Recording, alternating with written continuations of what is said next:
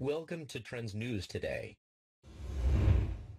Most of the time, an imaginary friend is just that imaginary. Children all over the world have them, they play outside with them, leave a space for them at the dinner table, have squabbles with them over sweets, and so on. But sometimes, the idea of an imaginary friend masks something entirely different. This twisted concept of an imaginary friend has served as an inspiration for horror novels and movies, terrifying people worldwide, and then imaginary friends have played roles in the strangest and most unexplained situations.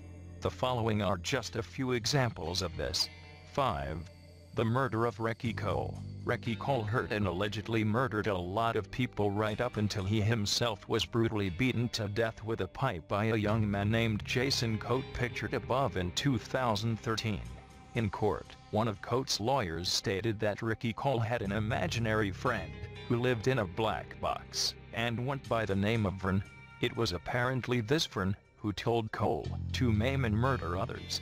Jason Coate had overheard conversations between Cole and Vern, and was terrified for his own life, leading him to kill Cole.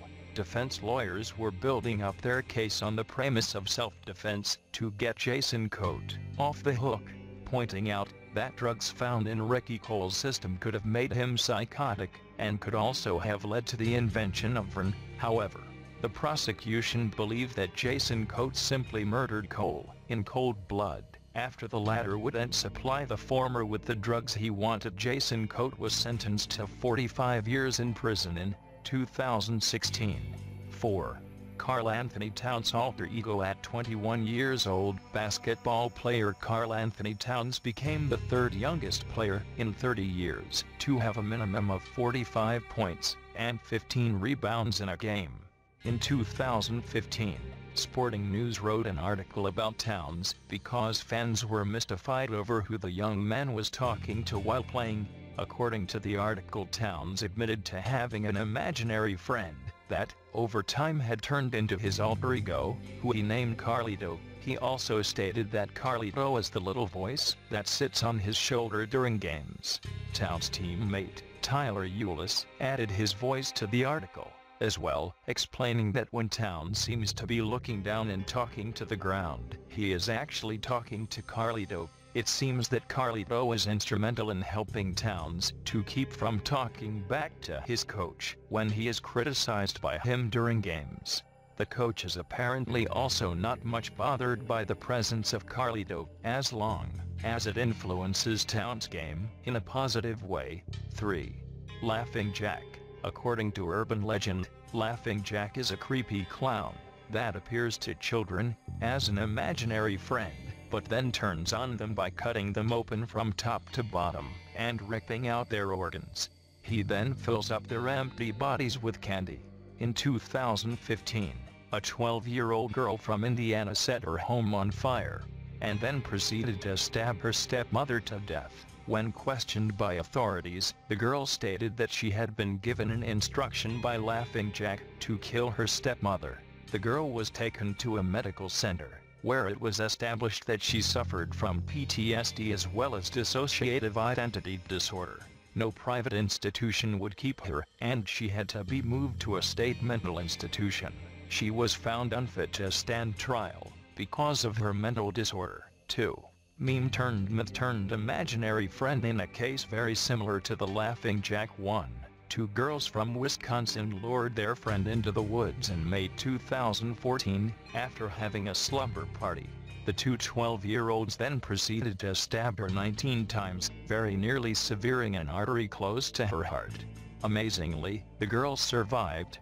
When they were arrested, they told police that Slender Man had instructed them to kill their friend. Otherwise, he would kill their families. Slender Man. A tall, slender creature that wears a black suit and has no facial features, originated as a meme and then morphed into a creepypasta and somehow emerged as a type of imaginary friend slash foe to the two girls, who did not hesitate to stab their friend to appease this ghoulish apparition.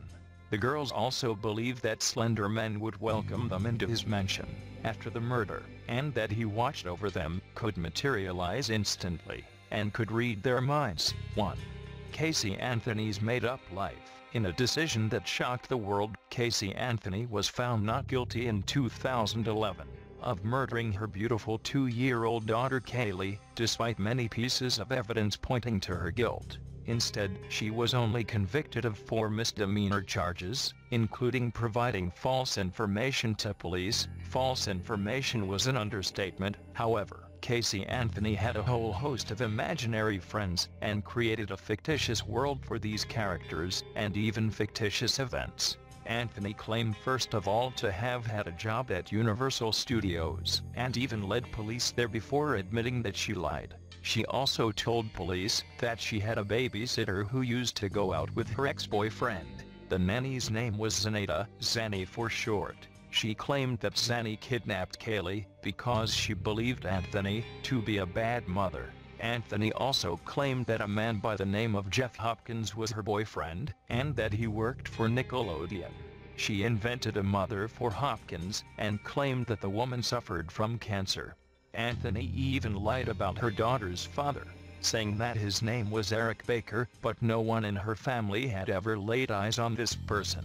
A while later, Anthony told her mother that Baker had been killed in an accident. In spite of all the lies and the obvious flaws in her stories concerning her daughter's disappearance and murder, Casey Anthony remains a free woman.